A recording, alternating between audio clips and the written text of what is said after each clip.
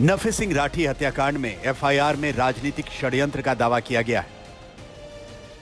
राजनीतिक तौर पे जितनी मजबूती से हम अपने हल्के की आवाज़ उठा रहे थे, शायद वे उन लोगों को पसंद नहीं आई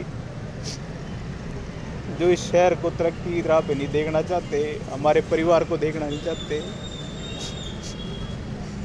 पिछले छः सात महीने से बार बार इनपुट आ रहा था सीआईडी का भी था लोकल पुलिस का भी था कि भाई आपके ऊपर हमला हो सकता है, सावधान रहिए। तो सवाल उठता है कि आखिर किसके इशारे पर हुआ ये पॉलिटिकल मर्डर नफे सिंह राठी हत्याकांड में पूर्व विधायक नरेश कौशिक समेत सात लोगों के खिलाफ नामजद और कुछ अन्य लोगों के खिलाफ मामला दर्ज किया गया है। ये एफआईआर नफे सिंह राठी की गाड़ी चलाने वाले ड्राइवर और उनके भांजे राकेश उर्फ़ संजय ने कराई है, जिसका दावा है कि हमलावरों ने उन पर हमला किया जब रेलवे फाटक बंद था। लेकिन इस हमला करने से पहले बदमाशों ने शोर मचाते हुए कुछ बातें कही थी और धमकियाँ दी थी, जिससे पता चलता है कि इस पूरी घटना के पीछे राजनीतिक साजिश है।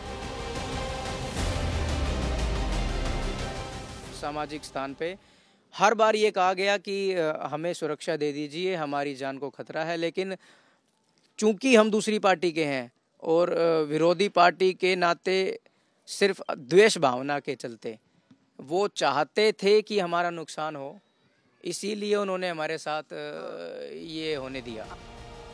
हमलावरों ने राकेश से कहा कि तुझे ज़िंदा छोड़ रहा हूँ ताकि अपने घर वालों को बता देना। यानी एफआईआर और चश्मदीद के मुताबिक इस हत्याकांड के लिए वही लोग जिम्मेदार हैं जिनके नाम एफआईआर में लिखे गए साफ़ है कि जब नाम सामने है तो फिर पुलिस उन पर हाथ तक क्यों नहीं डाल पा रही? इसी बात को लेकर अब हंगामा बरपा है। अंतिम संस्कार कब होगा? क्या कोई जब इनकी गिरफ्तारी हो जाएगी और पुलिस प्रशासन खाना पूर्ति ना करने के बजाय आप इसी से अंदाज़ा लगा लो कि रात तक पुलिस वाले सिर्फ़ ये चाह रहे थे कि ये मामला आरएएफ के पास चला जाए ताकि पुलिस प्रशासन को कार्रवाई ना करना पड़े और ठंडे बस्ते में मामला चला जाए। लेकिन बड़ी शर्म की बात है जिस आदमी ने लगभग सारी उम्र बहादुरगढ़ के लिए अपनी आवाज़ उठाई आज उसी आदमी की आवाज़ को दबाने के लिए ऊपर से नीचे तक की सरकार एडी चोड़ी का जोड़ लगा। इस हत्याकांड में सात लोगों के नाम आरोप दर्ज किए गए हैं, जिसमें एक पूर्व विधायक है। लेकिन उसी एफआईआर में एक और बात का ज़िक्र है, जिस पर गौर करना ज़रूरी है। चश्मदीद के मुताबिक, मेरी ड्राइवर खिड़की के पास आकर वो मुझसे बोलते हैं, तुझे ज़िंदा छोड़ रहा हूँ।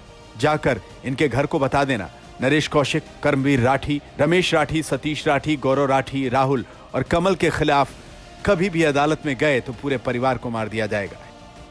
यानी नफे सिंह राठी ने नरेश कौशिक और उनके बाकी साथियों के खिलाफ किसी मामले में कोर्ट में गवाही दी, जिसकी वजह से उनकी दुश्मनी यहाँ तक पहुँची। इस हत्याकांड में अब तक जो सुराग और सबूत सामने आए हैं, उसे देखकर इसे कॉन्ट्रैक्ट किलिंग भी कहा जा सकता है और इसमें पंजाब और हरियाणा के कुछ गैंग शामिल हो सकते हैं। पुलिस को इस बात का शक भी है।